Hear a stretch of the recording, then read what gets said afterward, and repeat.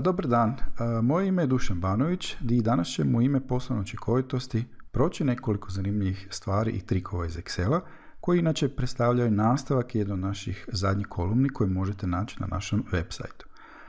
Preuzmite kontrolu nad ulaznim podacima bio je kratki jedan članak koji smo zapravo htjeli napraviti uvod kako to možete iskoristiti Excel za razno razne e, korisne stvari koje možete koristiti u svom svakodnevnom alatu.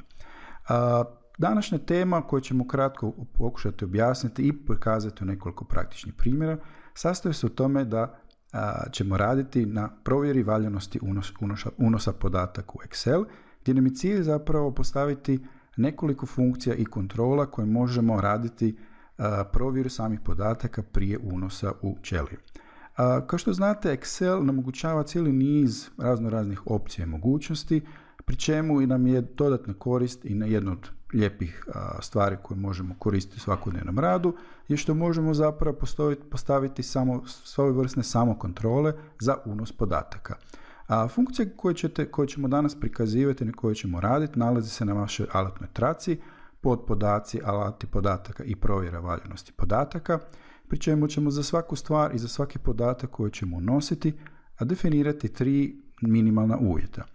Jedan ćemo raditi znači provjeru same valjanosti unosa podataka, a zatim ćemo i definirati ulaznu poruku i poruku eventualne pogreške. Podaci koje možemo definirati, koje možemo ograničiti u samom vrijednosti polja, mogu se sastojati od brojeva, datuma, teksta ili vremena, prema tom ili nekih drugih stvari koje želimo sami ograničiti, ali u primjeru koje ćemo kasnije uslijediti, koje ćemo pokazati, vidjet ćemo jedan a, konkretan a, i primjer, konkretnu korist od toga kako možemo brojeve ograničiti. S tim da naravno jedna napomena prije samog primjera u Excelu jest da primjena nije moguće na ćelije koje se računaju, odnosno na ćelije koje sebi sastoje formu. Idemo onda dakle na jedan konkretan primjer koji je zapravo, ćemo, koji je zapravo nastavak samog članka i koji ćemo prikazati jednu zanimljivih stvari.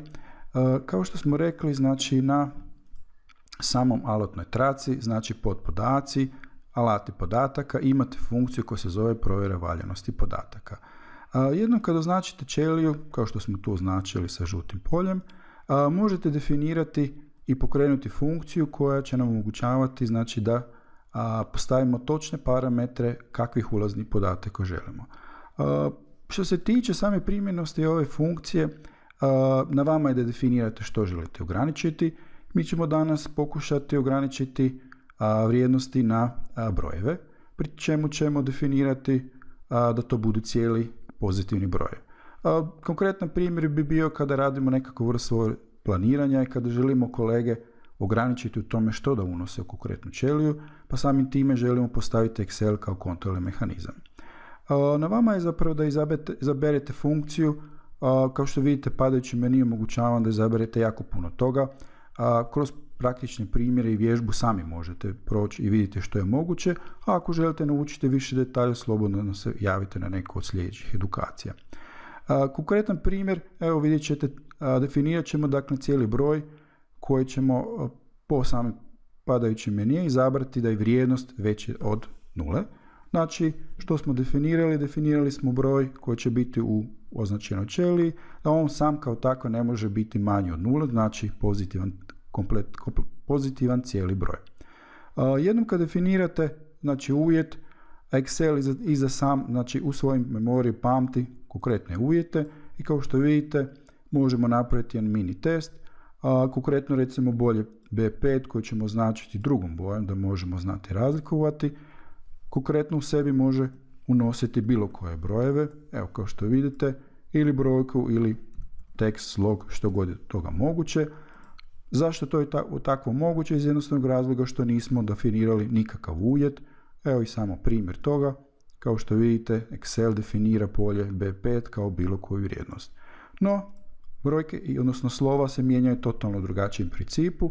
Kao što vidite, unosom podataka kao kao što su slog ili broj, Excel prepoznaje da je ovo broj, ali isto tako kad unosite tekst, Excel prepoznaje da ne unosite broj, kao što smo rekli, malo prije mi smo definirali da ova ćelija može biti isključivo broj. Ono što još može biti korisno kod ovakvih ograničenja jest da unesemo i nekakve upute koje možemo dati našim kolegama. Primjerice, jednom kad dođete i kliknete na ćeliju B3, možete pozdraviti kolege, znači korisnike svoje, svog Excel dokumenta. Primjerice, mi ćemo napisati unesite cijeli pozitivni broj. Znači, napisali smo jednu uputu tako da svako tko unosi u naš Excel dokument i bilo kakve podatke zna zapravo što mi želimo reći. Evo kao što vidite, označavanjem polja B3 dobijete konkretne upute što i kako vam je činiti i naravno dodatne upute koje možete dati kolegama kao što vidite na trećem, a, trećem tebu ili trećem ovog, meniju. Kao što vidite možete napisati i pogrešku, odnosno poruku o eventualnoj pogrešci u kojoj ćete definirati što je znači korisnicima potrebno činiti, odnosno koji konkretno pogrešku su učinili. Ovdje ćemo napisati, znači, molim. Pozor, čitajte upute.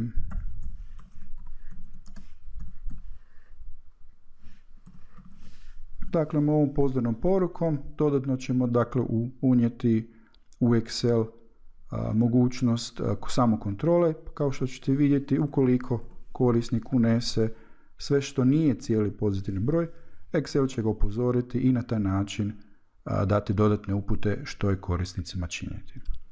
Eto, toliko za danas. Nadam se da bi ovaj primjer bio zanimljiv i koristan i ukoliko naravno želite više toga naučiti, slobodno se javite na neku od naših sljedećih edukacija. Zahvaljujemo na pažnji.